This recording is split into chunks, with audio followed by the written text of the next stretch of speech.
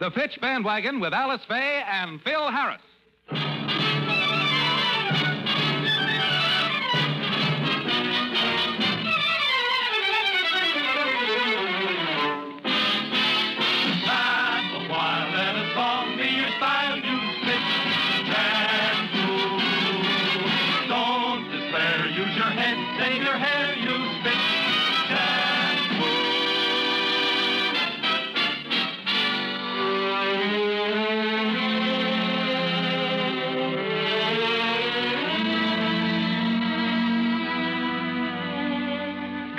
For hair that's dreamy soft like moonlight and glistening with romantic highlights, use Fitch's new cream shampoo. Fitch cream shampoo leaves hair romantically soft and shining. That's because it's made with two beneficial beauty aids purified lanolin and the finest olive oil. Lanolin is used to soften your hair, to help overcome dryness. Olive oil is used to bring out sparkling highlights, to make hair glisten as though it had been brushed and brushed and brushed. And Fitch Cream Shampoo is so simple to use. Just a dab billows into clouds of rich lather in hard or soft water. Then to rinse, a swish of plain water, and every trace of suds disappears. After shampooing, your hair is wonderfully soft and a joy to arrange. Fitch Cream Shampoo is economical, too. Compare its size, compare its low cost. Ask for it at drug and toilet goods counters. That's Fitch Cream Shampoo for hair that's soft like moonlight and shining like bright starlight.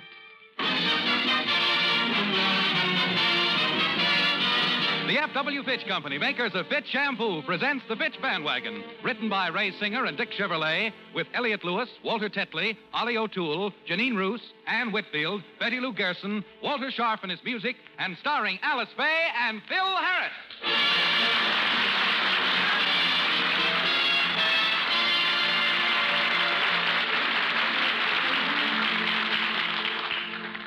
Phil has decided that it's about time the children saw their daddy at work.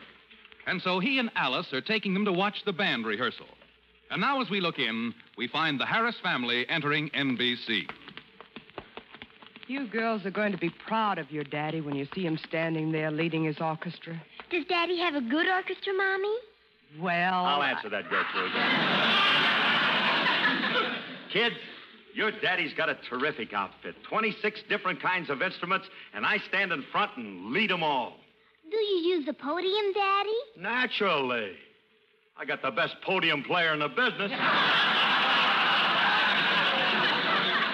come on, kids. We're rehearsing in this studio right here. Phil, Phil, do you think it's wise to take the children into your band rehearsal? Well, why not? I want them to see all the boys in the band. Yes, but do you think they're old enough to stand the shock? All right, all right. The boys in my band are all right. They're perfect gentlemen, and they have a lot of respect for me. They do just as I tell them to do. Don't worry about a thing. Come on, everybody, let's go in. Hey, fellas! Fellas, I want you to meet. All right, hold it. Hold it. All right, hold it. Hold, hold it while they're holding it. And keep holding it. Keep your heads down and don't press.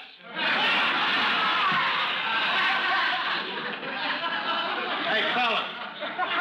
All right, let's have it quiet in there. Look. Hey, I got a surprise for you guys. I want you to meet my daughters. Hey, kind of cute, ain't they? Yeah, the one on the left is beautiful. You mind if I kiss the little darling Phil? No. No, go ahead, Artie. okay. Hook her up, honey, and Uncle Artie will slip you a little kiss. Artie, that one's my wife.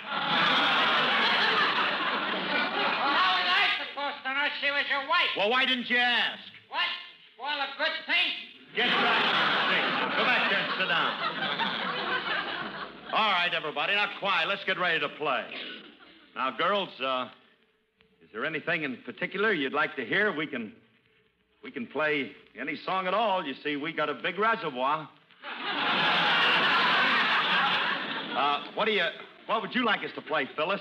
Can they play Farmer in the Dell? oh, baby. Listen to me. These men are accomplished musicians. Pick out something hard. How about Rachmaninoff's Prelude in C sharp minor. You heard her, fellas. Farmers in the Dell.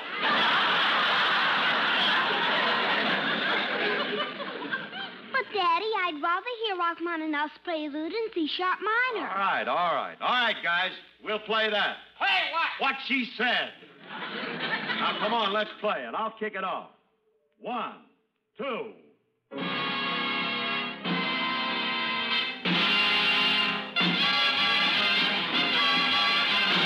That's what I like about Rachmaninoff's prelude in C sharp minor.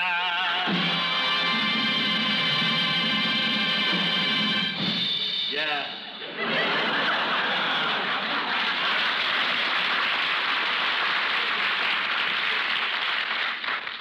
Well, uh, how'd you like that? It was awfully loud. Why do they have to blow so hard, Phil? It was not loud and they don't blow hard. How did you like it, kids? Did you think that. Hey, Alice, where are the children? The last time I saw them, they were three feet off the ground and flying north. Well, maybe it was a little loud. All right, fellas, let's try it once more, and this time no harp.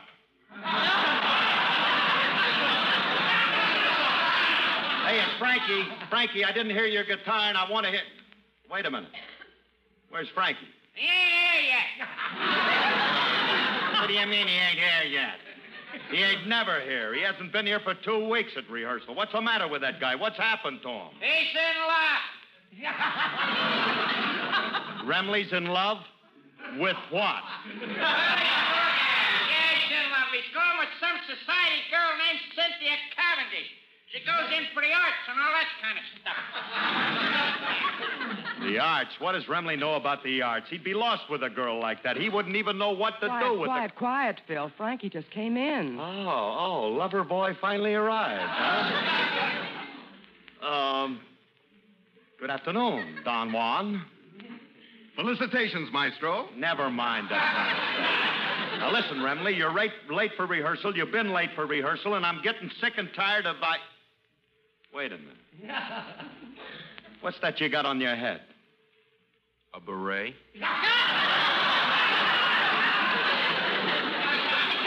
Well, ooh la la and rue la paix. Hold still and I'll kiss you on both cheeks, Pierre. Frankie, why are you wearing a beret? All us artists wear 'em. My girl, Cynthia Cavendish, says it's a badge of our trade. If I didn't wear my beret, I'd feel as nude as a floor walker without a carnation. Oh, wait a minute. What's the matter with you? So now you're an artist, huh? Every day it's something else. Now you're an artist. You're going to paint pictures, too, I suppose. Paint? Please. Cynthia says that painting is barbaric expressionism. Cynthia says that I have a genius far beyond painting. Cynthia says that I am a sculptor. Cynthia talks a lot, doesn't she? Frankie, listen to me. Get the beret out of your eyes and listen to me. I want to talk to you. What are you getting yourself into here? What kind of a dame is this Cynthia? Hold on, Maestro. Miss Cavendish is a person of breeding and culture who's possessed of a sensitive artistic soul, and I'll have you know she is not a dame. she happens to be a high class tomato.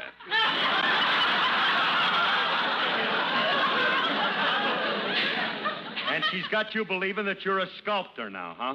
Well, I'll tell you one thing, Remley. You got to show me. Sit down and sculpt me something. Go ahead, sculpt. I can't do it just like that. The feeling has to come to me first. The mood has to come from within me, from deep down inside. Well, open your mouth and I'll look in and see if it's ready. Don't be facetious. I can't sculpt until I'm in the mood, and that take. Wait! Hand me my mallet and chisel quick. I feel the mood coming over me. I. Too late. It's gone. Didn't hang around very long, did it? Well, if you'll excuse me, fellas, I have to drop the children off at Mother's and do some shopping. Goodbye, Phil. So long, honey. I'll see you at the house. Oh. Goodbye, kids. Oh, Bye, oh, Daddy. Yeah. Oh, thanks a lot. Sculptor. Pierre the sculptor. Remley, I don't know. You're a sculptor, huh? Oh, yeah. You know something?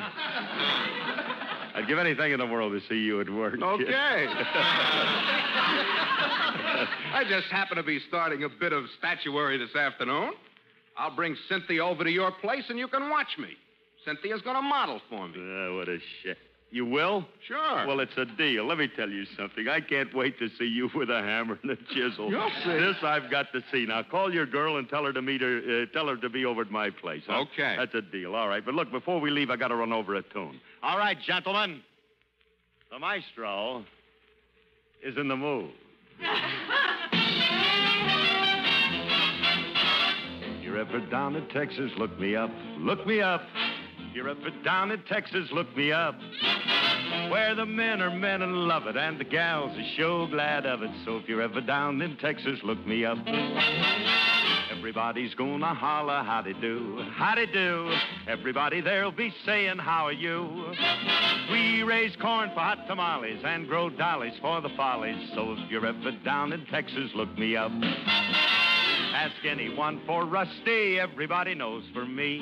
They'll tell you where I'm riding at bar A, B, C, or D. So if you're ever down in Texas, look me up. Look me up. We've got everything in Texas looking up. With the moonlight on the prairie and a gal that ain't contrary, there's a lot of fun in Texas. Look me up. Ask anyone for Phil C. They'll tell you where I'm at. You'll find me down at Galveston with a box back coat and a Stetson hat. So if you're ever down in Texas, look me up. Look me up. They've got everything in Texas looking up. Am I right or Amarillo? Man, that state's a killer dilla. So if you're ever down in Texas, look me up. Bronco busting, take some practice, or you wind up on a cactus. So if you're ever down in Texas, look me up.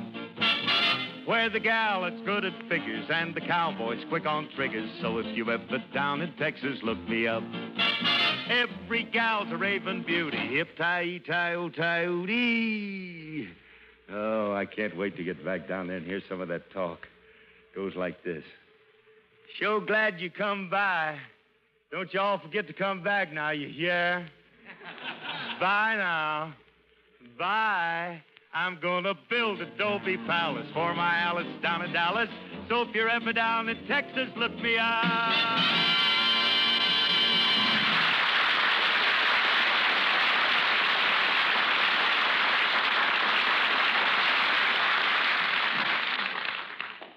All right, Remley, I'm letting you use my house to do this sculpting. Is when is this uh this Cynthia. Oh yeah, when is uh when is Cynthia gonna get here? She'll be here soon. Where'd you meet her, Curly? She's real class and she's crazy about me. Why? what can a dame possibly see in you, Remley? She must be after what little dough you have. I resent that.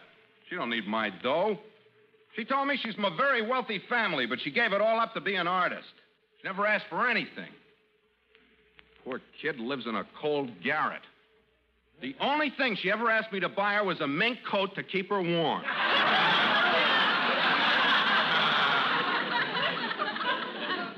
And you bought her a mink coat just to keep her warm? Not exactly. I talked her into red flannel underwear. Frankie, I don't know. I, I, I, I can't understand how you can go for a narty dame like that. They don't think of anything but themselves. They have no hey, regard. hey, that must be her now. Come on, I can't wait to introduce you to her.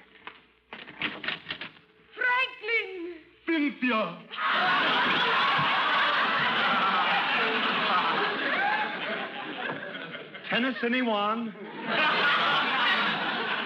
Shall we have a go at it? Yeah, this sounds like a weekend at Noel Coward. Come on in, Cynthia. I want you to meet my pal, Phil Harris. Curly, this is Miss Cavendish. How do you do, Miss Cavendish? I'm very happy to meet you. How do you know?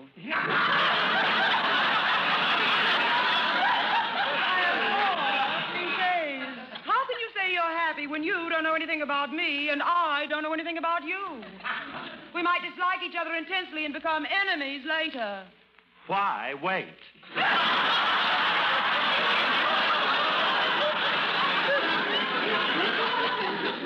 You two are going to learn to love each other. Yeah, yeah. yeah, that's essential. Oh, I doubt it. I can't stand men with curly hair. They annoy me no end. Frankie, what's cooking with this chick? Did somebody slip barbed wire into her corset stave? You just don't understand her, I don't Curly. wanna understand. Well, she's really very human. She's got a lot of warmth, especially for me. Watch this. Cynthia, aren't you going to kiss me hello, dearest? Franklin, you know I detest kissing. I think it's very vulgar. Oh, this kid's as warm as a penguin's instep.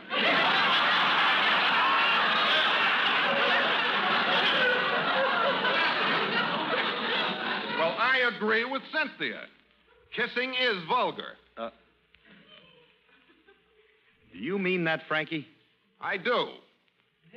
And you feel the same way about it, Cynthia? I do. I now pronounce you man and wife. Rub noses and get lost.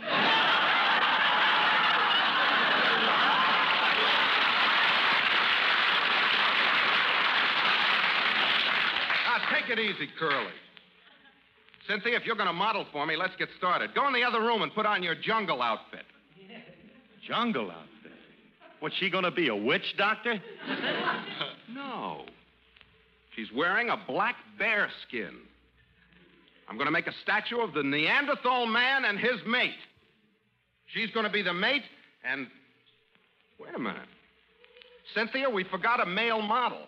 Oh, your friend here will do. Mr. Harris, slip into this leopard skin. Leopard skin. Yes. Here it is. Look, lady, get that thing out of here. If you think I'm going to wear that gravy-stained loincloth, you're off of your beat. I'm not going to. I who? I ain't going Let's not Are you nuts? You're I'm retarding my artistic career.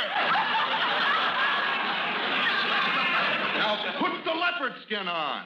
Are you kidding, Clyde? I wouldn't wear that thing if I was a leopard. I'm not going to wear it either, and that's final. What's the matter? Are you ashamed of your physique? Am I what? Ashamed of my physique. Lady, you're looking at the stand in for Gorgeous George.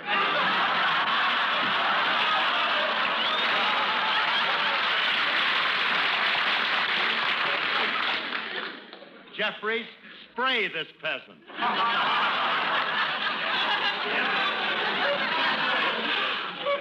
Ashamed of my physique. Give me that dead skin there. I'll put it on. I'll show you. something, boy, lady. Curly. I'll help you.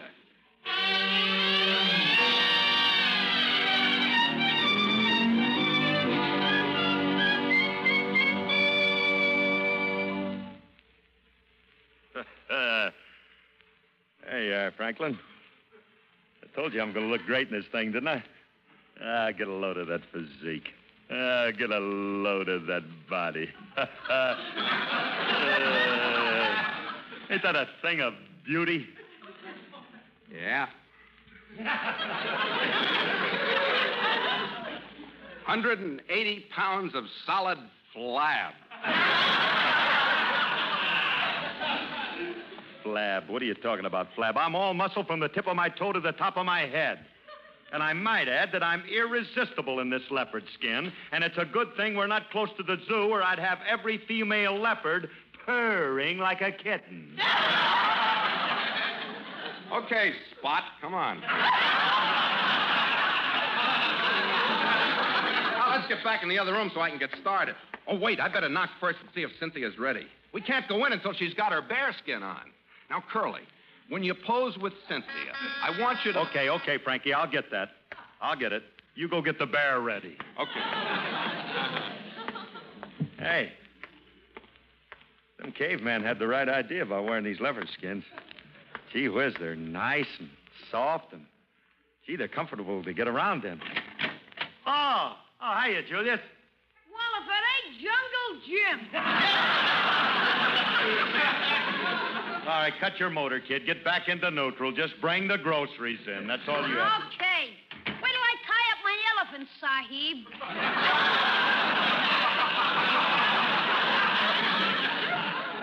What the heck happened to you, Mr. Harris? Nothing happened to me. Nothing happened to me. I'm just wearing a leopard skin. For a minute, I thought you had king-sized measles. Don't get gay, nature boy. Mr. Remley just happens that uh, Mr. Remley has taken up sculpturing, and uh, he's uh, well, I'm posing for him. This ought to set art back about 50 years. Mr. Remley don't know nothing about sculpting. Mr. Remley knows something about sculpting, too. now, if you're a skeptic, come on in the room, and I'll let you watch him work. This I gotta see. Hey, Frankie. Huh? You mind if Julius watches your chisel? No. Come on in, kid. Thanks, Mr. Remley. I just want to see it. Hey, Mr. Remley, what's that bear sitting in the corner for? What bear? Oh, that's my fiancée. I'm going to marry her. Couldn't get a girl, huh?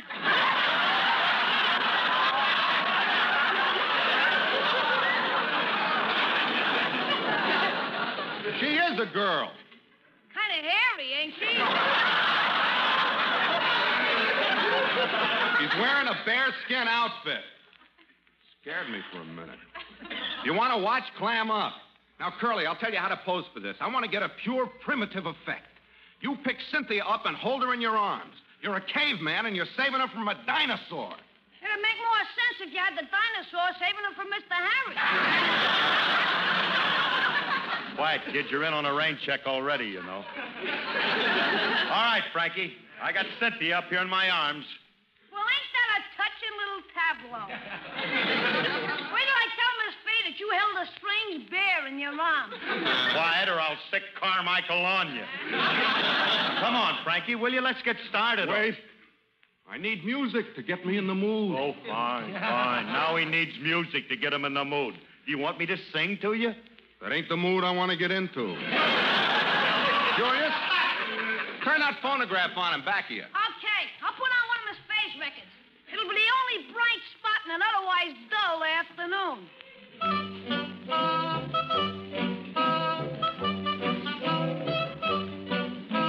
Love, love, hooray for love. Who is ever too blasé for love?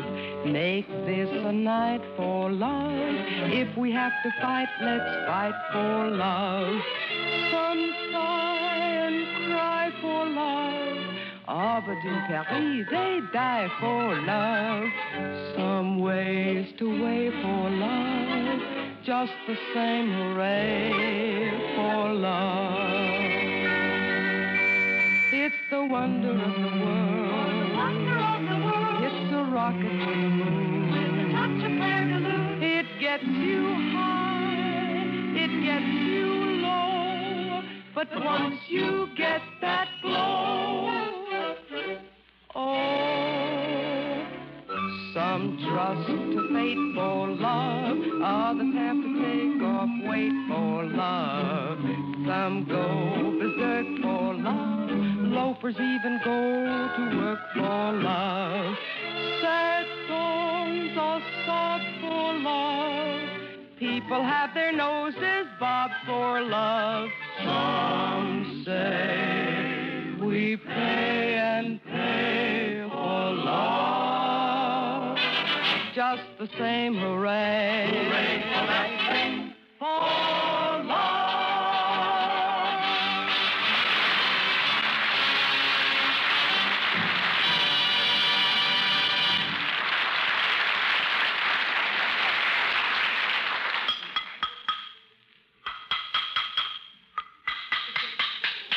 How are you doing, Franklin? Yes, how much longer do I have to hold Cynthia in my arms? I'm getting tired. Curly, stop sagging. Don't lose the expression on your face. Remember, you're saving a girl from a dinosaur. Well, hurry up, will you? This leopard skin is starting to itch. Oh, I... Phil, I'm home and I. Well, what's going on here? Oh, oh, it's you, Alice. Yes, Tarzan. it's me, your mate. What is that woman doing in your arms? Oh, her? Oh, I'm saving her from a dinosaur. Oh, oh, good, good. The house has been overrun with them lately. What's the meaning of this? Mr. Harris, will you please tell your housekeeper to run along?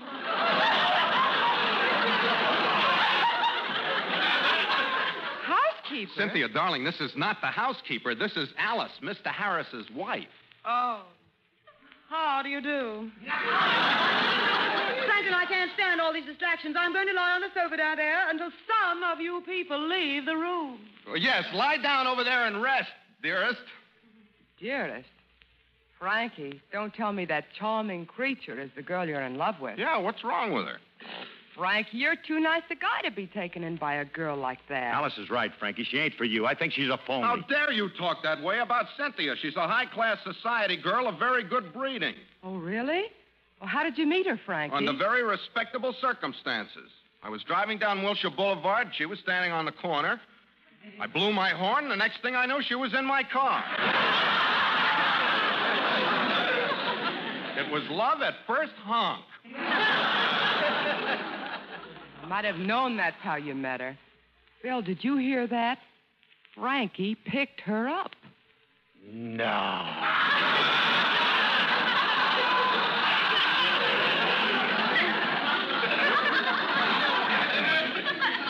Happens to Betsy. How disgusting. I heard that and I resent it. You did not pick me up, Franklin, and you know it. I didn't, huh? Honk, honk, go my way, babe. Thank you, sir. I'd be glad to take a lift. I'm just. Go- All he said was honk, honk. An aggressive duck could pick this kid up.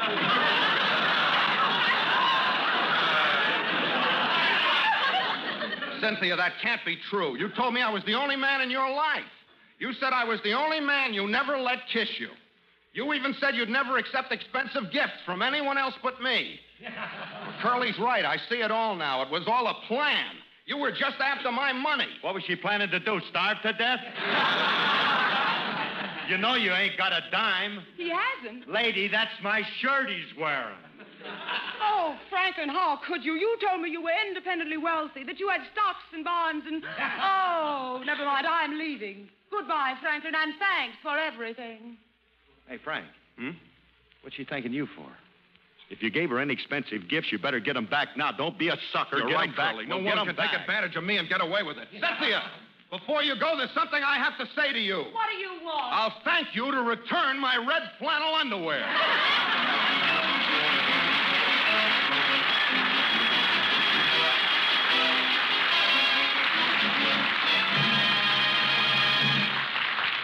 Phil will be back in just a moment. No shampoo in a tube. No shampoo in a jar. And no other shampoo in a bottle leaves your hair so completely dandruff free as Fitch. Fitch's Dandruff Remover Shampoo. For Fitch is the only shampoo specifically made to remove dandruff. Leading medical authorities say there are two kinds of dandruff. One is loose and flaky. It's the unsightly kind other people see. The second type clings to the scalp. It's the invisible, irritating kind you can feel. And Fitch is guaranteed to remove both kinds of dandruff completely. So be free of all embarrassing dandruff with Fitch. Fitch is the only shampoo made that's guaranteed to remove dandruff with the first application. And the Fitch guarantee is backed by one of the world's largest insurance firms. Remember, no shampoo in a tube, no shampoo in a jar, and no other shampoo in a bottle leaves your hair so completely dandruff free as Fitch. So switch to Fitch. Use it regularly each week. At drug counters, barber, and beauty shops, ask for Fitch's Dandruff Remover Shampoo. Fitch is F I T C H. This is Phil Harris again. Folks, today there are 30 million starving children in Europe. And you can help these kids by sending a food package or cash to CARE in New York City. You can designate where you want your contribution sent or leave it up to CARE. Remember, the address is CARE, New York City. Good night, everybody.